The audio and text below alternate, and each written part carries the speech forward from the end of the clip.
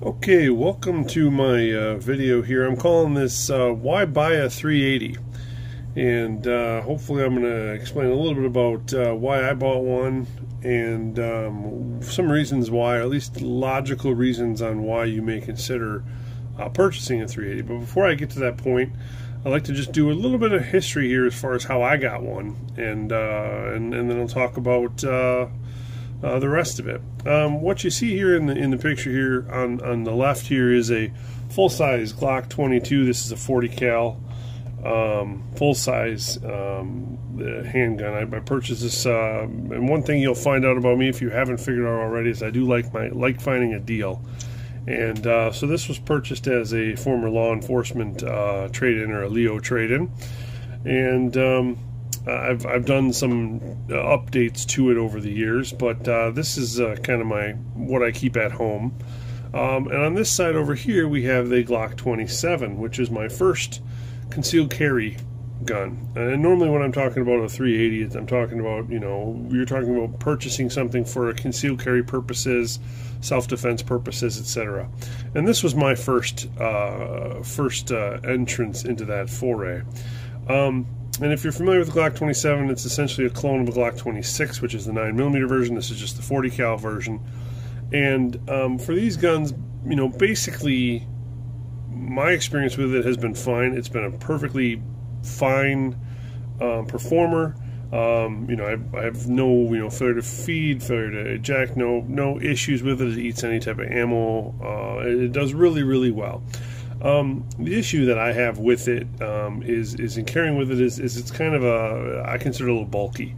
Basically, this um, is is basically a Glock 22 with some of the barrel chopped off and some of the grip chopped off. Uh, the frame and, and, everything else itself, the slide, it all feels full size. Um, and if you look at them side by side here, hopefully I can do justice to this, but um, if you look at these side by side here, um, they are essentially the same width, um, and, and, and, and, and everything is the same except, like I said, some of the grip is lopped off, and then um, some of the barrel length is, is lopped off. So um, when it comes to concealed carrying, um, it's it's fine. It's easier to carry than, than the full size 22 but the 27 is is to me always has been a little bulky uh, in carrying.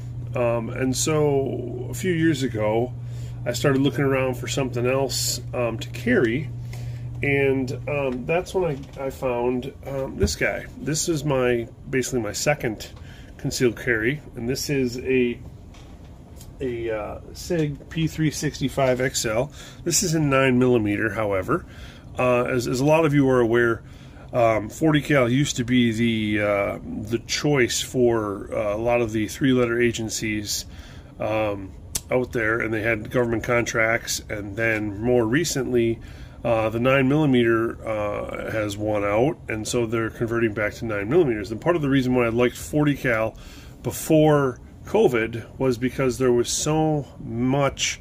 Um, police and, and law enforcement uh, either trade in or overruns available that buying um, surplus ammo uh, in 40 cal was cheaper than 9 millimeter. Um, it's really not that anymore. There isn't as many good, great deals anymore. And with 9 millimeters being taken over by those three letter agencies in their co- recent contracts, uh, 9 millimeter prices have, have come back down, and I think in the most part are generally lower than 40 cal. So it's generally cheaper to say plink now, uh, you know, with with FMJs in 9 millimeter than uh, it, it is in 40 cal. Uh, so this was my second purchase, and again, this I picked up uh, on a clearance price when our local Gander was going out of business. Um, so I got a deal on this, um, and I like it just fine, um, except uh, I don't really love the Romeo red dot that I put on here, but that's beyond the point. As far as uh, this itself, uh, it functions okay. I've had some quality issues with with the Sig. Um, uh, I mean, originally when I purchased it, the within the first 40 rounds, the front sight just snapped off, and I had to send the frame back in to have it replaced, and know, I've had some other hiccups with it, but um, for the most part, it, it's okay. The nice thing about this is it's uh, if we look at it against the uh, the Glock, when it comes to the Glock 40 cal, when it comes to concealed carry, it's thinner. Um, it's so it's it's more of a slimline profile. Um, it's got a longer barrel, um, and so it, it does. Uh, uh, but the actual uh, slide itself is is not terribly longer. So it's it's just it's it's a little more comfortable, a little more compact. And one thing I've found is that um, comfort uh, for me has seemed to, to win out over the years versus maybe um, capability. Uh, and that's not necessarily a great thing, but it's reality in that if I'm not comfortable um, I'm probably not going to carry it, and I'd rather carry something than carry nothing at all. So, um, after I got this guy, um, I actually went uh, even smaller, uh, but stayed with nine millimeter, and I went to this guy uh, and purchased uh, a Ruger LC9S. Um, this is a seven plus one and nine millimeter. As you can see, it is got a much shorter barrel than even, or excuse me, a much shorter frame than even the uh, SIG. It does have a, a uh, shorter barrel than the SIG, so there are some performance concerns when you drop to an even smaller um, sidearm. Uh, but as far as the side-by-side comparison, again, this is even skinnier. Uh, this one is about nine tenths of an inch wide. Um, it's one of the thinnest. It's what they call a single stack nine millimeter, and it's very thin, very easy to conceal very comfortable to carry. Um, so yeah, that's the the most recent. Um, I, I, actually subsequently I purchased another uh, cheap nine millimeter, uh, about the same size, the SCCY DVG one. But this was um, uh, the the the first in that 3.1 inch barrel uh, nine millimeter that I got. Um, and then I uh, have picked up since then. I've picked up the uh, Glock 42 in 380 as well as a even smaller uh, Ruger uh, LCP2, also in 380. Um, now, one of the issues with, with 380 that, that I hear all the time, or that I've I've seen before, is that you know people pick them up because they're they're small, they're easier to conceal, easier to carry. Well, you know, to debunk that here a little bit, you know, here is again um, the uh, LC9S versus the Glock 42 and uh, essentially the the overall length is pretty much the same. As far as the the height there, the LC9S is a little bit the the grip does extend down a little bit further, but it's actually more narrow than the 380. Um, it's it's about a tenth of an inch narrower than the Glock 42 and 380. And capacity wise, with this extra little bit of grip length, you get a 7 plus 1 and 9 millimeter versus 6 plus 1 and 380. So that size and weight comparison, because these also weigh almost the same too. So the size and weight comparisons in 380 really don't hold any water um, when, when saying that that's better than a 9 millimeter or a larger sidearm, unless you're getting to something the uh, LCP2 size or even smaller. Um, and again, then you're really running into the concern about performance and what kind of performance can you get. And I think that's the reason why a lot of my 380 videos are watched is because people carry these small 380s and they're concerned about the performance they're going to get out of them. But if you're going to carry an LCP2 or even something smaller, you know, like a, a Kahr CW380, which has a two and a half inch barrel, um, yeah, you, it's going to be smaller than any realistic nine millimeter that's out there uh, but you're going to give up a lot of performance for something quite so small. And then, you know, the issue I have with something even as small as the LCP2 is finding it. If I'm going to carry it, uh, you know, trying to pull it out of a holster is, is, is near impossible if you were in a rush. There's not much to grab onto, etc. Uh, if you put it in a pocket, you got to find it, etc. So, um, you know, it, it, it's it to me it borders on too small for for practical use. And if you get something even smaller, I'm not sure if I, you know, uh, if I could uh, even use something like that. So, you know, as far as the, the size and weight issues, I don't think 380s really hold a lot of water um, uh, for that. But there are a few issues that I do like about the 380 versus um, some of the, the other calibers, 9mm, 40 cal, etc. Um, first and foremost is, is the recoil issue. If you're very, um, if you're, if say you're a slight build or you're just recoil sensitive or your hands don't don't like it, um, there is a lot less recoil uh, in general with a, a 380 than there would be with a 9 millimeter or, or 40 cal. At least felt recoil in these subcompact size handguns. Uh, if you're carrying a full size, you know, steel or even a polymer, you know, like a Glock 17 or something, you're not going to feel much recoil with a with a with most nine millimeter rounds.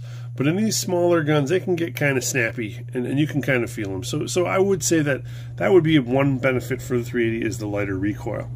Um, number two.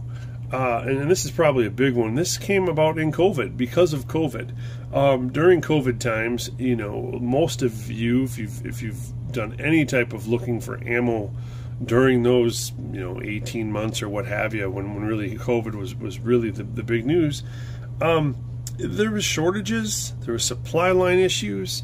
Uh, you'd go to your sporting goods stores and there's nothing on the shelf um, in, in any caliber or if there was it'd be you know an obscure caliber not not carried by a lot of people. So so uh, having a 380 as an option in addition to another round like a 9 millimeter or a 40 caliber or 45 or 38 special or what have you um, gives you more options in times of of potential shortages or supply issues that you know you can just swap out one for another and you're, you're good to go. Or if you um, stockpiled or what have you uh, you'd be good to go. So I think number two would be again um, ha- protection against shortages or supply line issues uh, in the marketplace, I think, is, is another option why a 380 is a, is a good option. Um, and the last uh, last reason that I come up with is is uh, a variety. Um, having a variety of carry options in different sizes is not a bad idea because of circumstances, clothing circumstances. Obviously, up here, I'm up in the north here uh, and we have you know warm summers, uh, borderline maybe hot sometimes. You know it's 90 degrees today. Most of our summer weather is in low 80s, and you know for me, you're talking shorts and t-shirt. Uh, in the wintertime, it can be you know zero out, um, and so having a variety to choose from that fits the weather circumstances and fits the attire that you're wearing uh, is is uh, is is a very big positive. You know, slipping a, a, little 380 in your pocket if you're wearing a, pair of shorts is, simple. Whereas something with a little bit longer, and again, even in the wintertime, you know, I've I've already uh, carried this in the wintertime. I've carried the full size, um, um, full size uh, Glock 22 in wintertime and uh, with with no problems. You're not going to see it underneath a heavy, you know, winter coat or what have you if you're doing concealed carry. Um, I'm, again, I'm not talking in, in, states where open carry is legal. This is more for concealed carry purposes. But um, so again, having that variety, I think, is is is helpful um, and, and useful for the circumstances um, that you might run into. So, um, some other items I do want to debunk here a little bit is the cost issue. You know, a lot of people, especially novices, are going to think, well, you know, with a 380, it's a small round, it's it's you know, there's less material, etc. It should be cheap, um, but it's really not. I think you know a lot of that has to do with with government contracts, what is being produced for the government, you know, what companies are, are mass producing nine millimeters more so now than than pretty much any other handgun cartridge. So, you know, 9 millimeters on average, on balance, are, are cheaper than your 40 cals, your 45s, your 380s, etc. So even even for self-defense rounds. And and the other thing with with all the government contracts in 9 millimeters, there's a lot more R&D money being spent in 9 millimeter.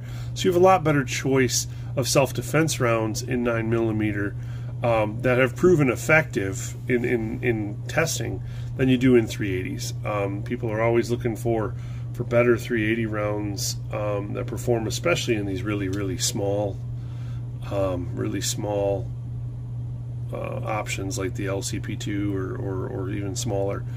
Um, to get that you know those recommended penetration and expansion numbers. Um, so it's really difficult to do that with some of these. So um, you know. Uh, that's kind of my take on, on a 380. Why I bought a 380. Um, you know, when did I buy my my first 380? It was actually during COVID.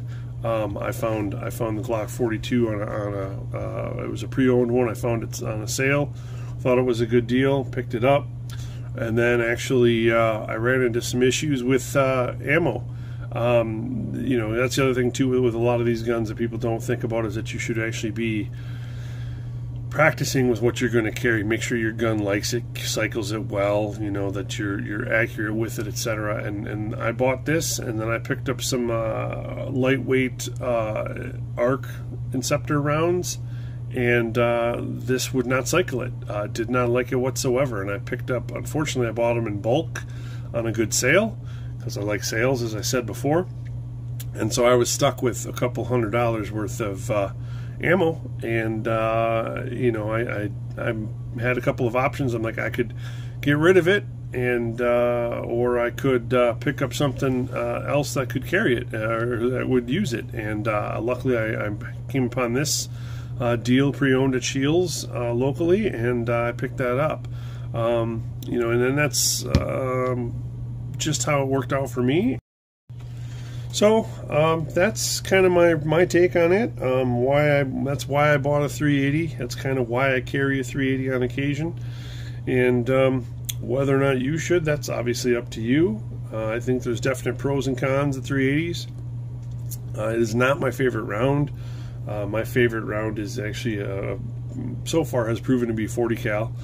Um, but uh, when it comes to carrying, I, I generally carry the, the 9 millimeter um, because it's uh, more comfortable. I found I've found that this uh, LC9S because of its its overall slim um, personality, uh, it's the most comfortable for me to carry personally. So again, uh, find what works for you. Um, hope you enjoy this. Um, if you got any comments or you know why other additional reasons why 380 versus something else, I'd like to hear them. Again, I, I, I racked my brain and I couldn't come up with too many more on why 380.